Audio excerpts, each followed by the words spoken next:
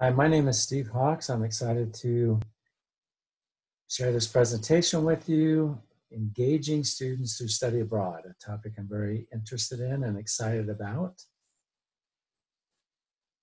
Um, I'm Steve Hawks. I'm here because I believe in the power of study abroad programs to engage students in ways that create lifelong impacts. I've been doing study abroad for over 20 years to a large number of different countries. I currently teach in kinesiology and health science department in the brand new Master of Public Health program with an emphasis in health education and promotion. I teach a couple of global health classes in the program, and I really wanted to bring study abroad into the MPH program as well, hence my interest in, in this topic in particular. Uh, Mary Dwyer, and I agree wholeheartedly, study abroad positively and unequivocally influences the career path, worldview, and self confidence of students. My experience in higher education, my, the highlights of my career have been study abroad. Some of the lows have been study abroad. It's uh, challenging, difficult, hard to make work successfully, but extremely re- rewarding both for faculty and students when, when it works, when it's done well. Theoretical foundations, ingredients of success. Let me, uh, I should have been commenting on some of these slides. Um, this is um, students in Thailand a few years ago. And uh, working with a nonprofit organization that provided services to homebound elderly people. Um, this is in Cambodia a few years ago um, with students. I have some photo bombing in the background there, working at a, a, a rural school for low income students. So great experiences. This is uh, back in Cambodia again. I'm doing health education, uh, personal hygiene presentations with a local um, student. The, the student in this image, USU Eastern t-shirt, Navajo student from Blanding, amazing um, thing to watch. Um, someone from rural Native American uh, reservation teaching rural um, individuals in Cambodia. So very fun to watch that play out. Theoretical foundations. This is with a student uh, earlier in my career in in Manila, um, outskirts in an impoverished area, actually doing a, a research project in this case. So conceptual framework at the individual level, we in my discipline, we try to change behaviors, quit smoking, eat better, manage stress. Um, but rather than come in with our agenda, let it be driven locally within the training level of our students. Don't put them in situations where they're asked to go above and beyond what they've been trained to do in a culturally sensitive way that's sustainable rather than one and done and, and do something useful, but then leave them hanging work to make it a sustainable program. Don't forget, we have the same issues at home. At the program level, it's all about uh, partnerships and um, working with entities within the country that want us there, that value our resources, that use our resources to build capacity. Um, and then at the social level, understanding the, the broad policies, regulations, national conditions, protocols, resources that are in place in relation to whatever our discipline is, whatever we're trying to accomplish. So it's extremely helpful to take a step back very early in the process and envision where your program fits at all these different levels um, at the individual level, the program level, the social level, and craft a program that makes sense within that broad context. And then the five essentials of any good study abroad program strong, clear academic content, competent faculty who have a grasp of experiential education, service learning principles, and so forth, integrated into the local um, community with, with a host organization that really wants us there, that contributes to the lectures, and then working with the students throughout the program and after the program in terms of reflection what have we, we learned. In terms of the host country lecture, I have never had students believe what I'm teaching them more fully than when they hear it from a host country lecturer. Even if it's the same thing that I've been saying, it uh, they believe it when the host country lecturer says it. So putting all these pieces together becomes important. Setting the curriculum stage and now getting down to the point of what exactly are we going to do. Um, the academic focus is it topical. My area is public health, global health, and so it is topical. And yet, within my discipline, we appreciate the nuances of culture. We, we our intent is to be interdisciplinary, multi-sectoral. So it ends up being all all of the above to an extent, but it's probably pushed by the discipline. Um, faculty led programs lend credibility, expertise, added value to a program. So, faculty led is our preference in tandem with a local instructor that can bring the local perspective into play with a strong partnership, building those relationships. Where are you going to go? Um, how long are you going to be there? What time of year are you going to go? And again, making it faculty led. So, thinking through all of these aspects of what makes the best possible program. And for us, we did a pilot study with our MPH students, and some of the slides that we've seen are from that group, and we'll see a couple more. Um, who are our students? What are they thinking? What do they want out of a study abroad experiences? After coming back from our pilot trip, we created a Qualtrics survey. Question number one Do you really want to do? Do you want to have a study abroad experience as part of the MPH program? Not surprisingly, the majority of students said maybe, um, but the next largest group said absolutely if we can work it out. The next largest group probably, but I need you know need to work out the details. So all that's fair enough. That gave us enough of a green light to say, yeah, there there does seem to be interest in doing a study abroad program. So um, how long do you want to be gone? Most of our students are non-traditional with families working full time. There are definitely time constraints. Again, not surprisingly, the majority said two weeks.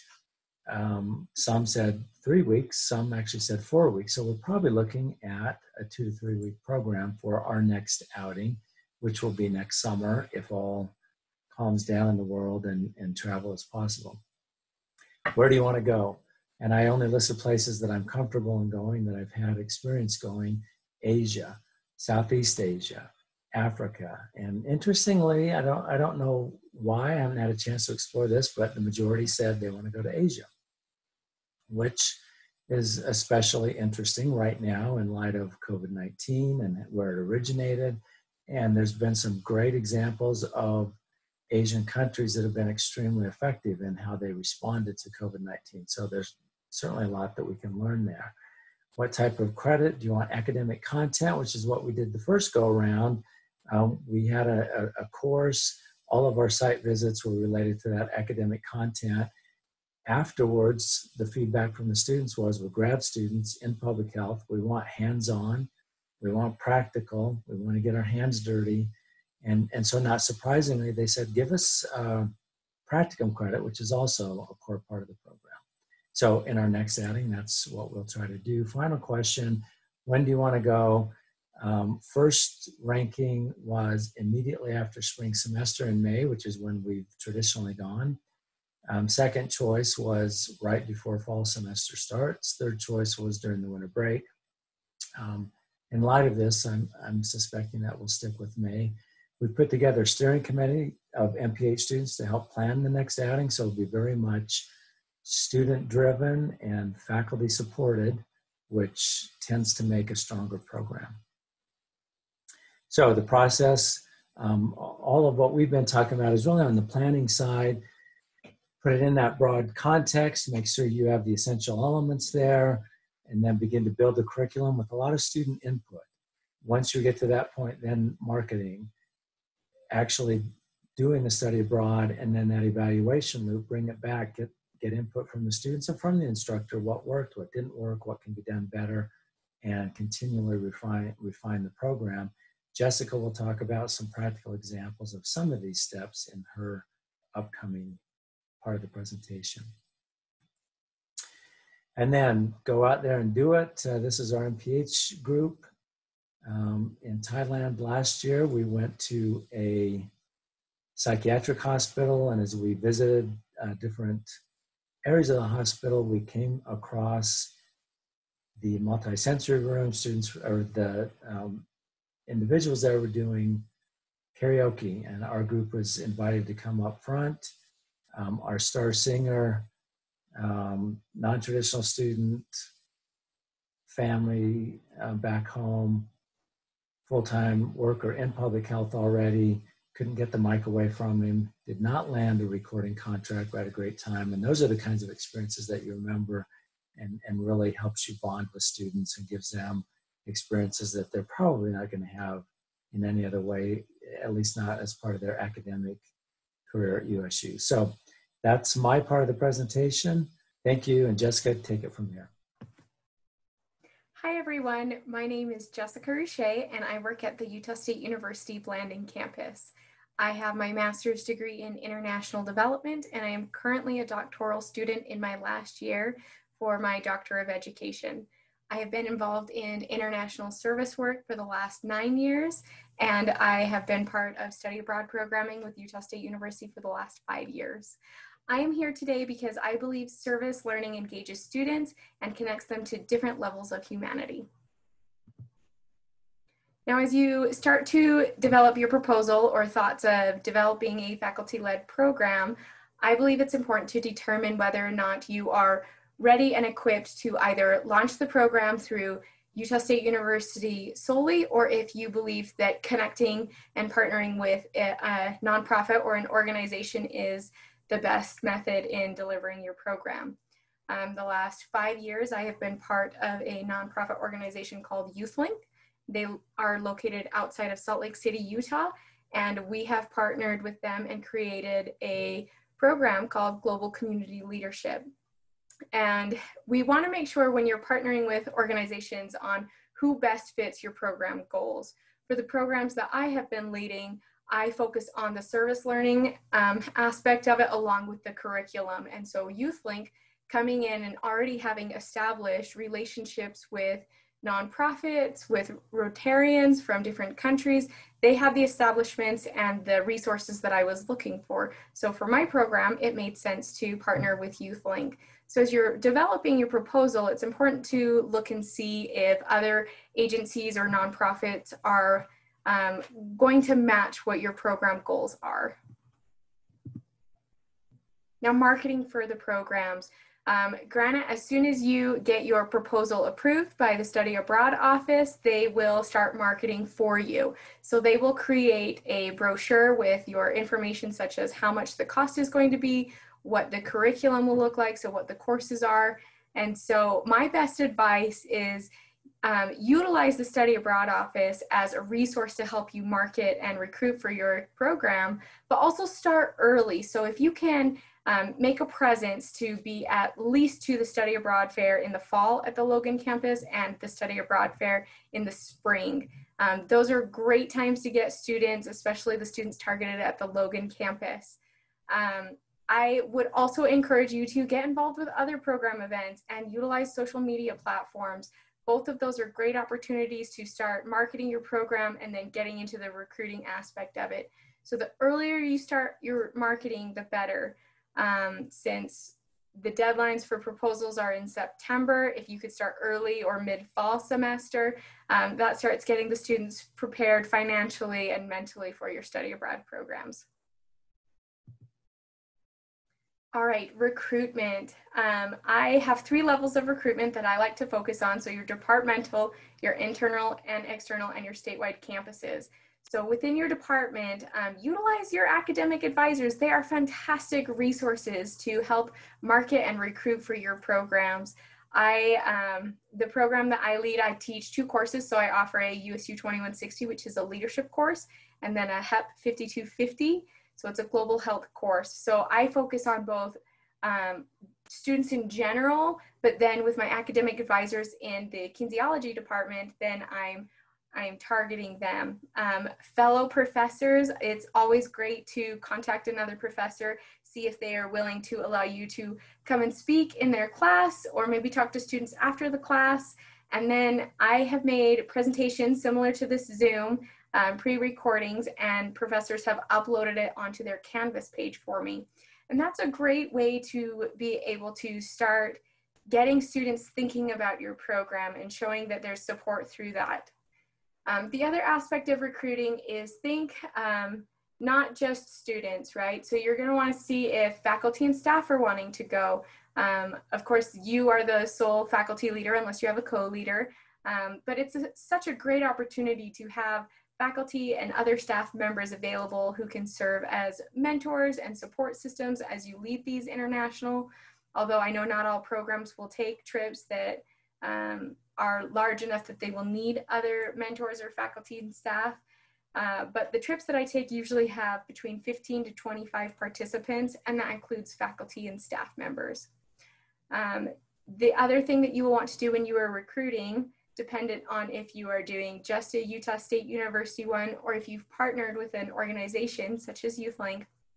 If you are allowing non-USU participants, I have had participants who are parents or siblings of Utah State students and they have experienced this study abroad opportunity together.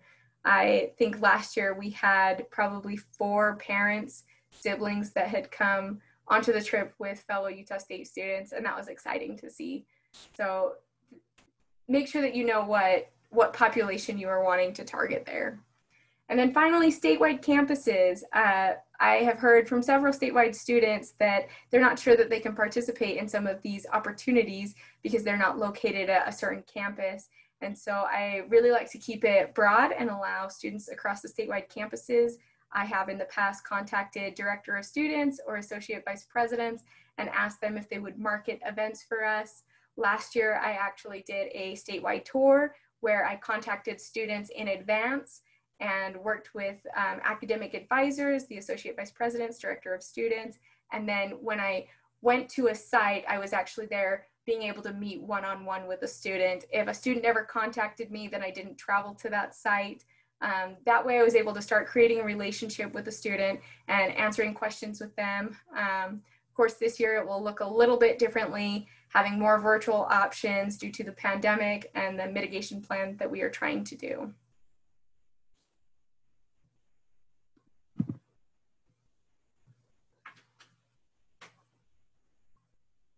All right, so scholarships and fundraising. The one of the number one things that I hear from a student is, "This sounds amazing. How much is it?" And so the first question they're going to ask is the cost. Um, I really like to reassure students that there's lots and lots of resources, but it is going to take effort on their half. So we as faculty and staff can get them part of the way and with the efforts that they put in looking into scholarships and doing fundraisers then they can get the rest of the way. Um, i have always given students my contact information so that we can work through this as they're getting accepted into the program. And so i follow the students through the application or before the application through the application and then upon to acceptance. So the three main things of um, coming up with the costs for their trip are scholarships, um, if you're partnered with an organization, what funds they have available, and then of course individual fundraisers. So scholarships, there's university related, um, depending on where the students are at uh, financially and which campus they are paying tuition, there are some opportunities to have um, scholarships that refund. So they over award and they allow to refund to the student. And so that's a good time for students to actually start saving or setting some of their money aside to start paying for their trip. So for example, with the partnered organization that I work with, YouthLink, they create a social fundraising platform, um, kind of like GoFundMe, where students can pay at any time. Um, they can share it across email or social media. And so YouthLink creates this social fundraising platform in which students can start fundraising in October, November, December, and that way they have seven, eight months to fundraise rather than two months, three months to, to get their money coming in. So it's great to start early on the process of getting students to think about start paying for their programs. And then finally, individual fundraisers. One of the best things that I can tell students to do is to start letters. And the letters are just stating, here's why I'm going and here's how it's going to benefit me, and then giving them the information of how to donate that money. I have also given students a letter of support from my behalf if they are taking it to corporations or to other businesses to donate. Um, group-based efforts are always great if they are willing to get with fellow students who are also going to study abroad. They can fundraise together. Um, individual-based is great as well. And then, of course, host venues. Uh, we have been lucky at the Blanding campus where students can utilize some of the facilities at low cost or for free.